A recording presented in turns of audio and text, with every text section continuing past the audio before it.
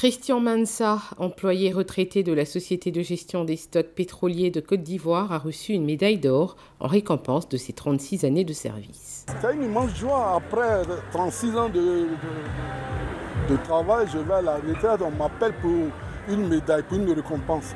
Mais c'est une grande joie, une grande satisfaction.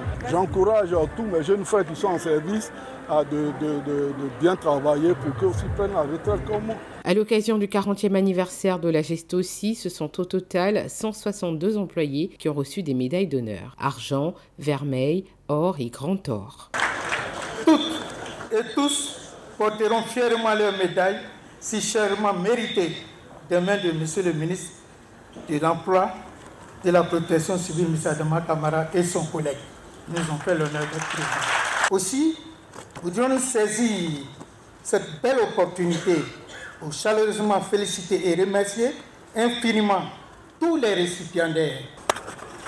En cette importante journée de célébration des valeurs de loyauté, d'excellence et d'abnégation au travail, nous nous souvenons encore deux ans en arrière que la aussi avait été désignée meilleure entreprise du secteur du pétrole lors de la huitième édition de la Journée nationale de l'excellence.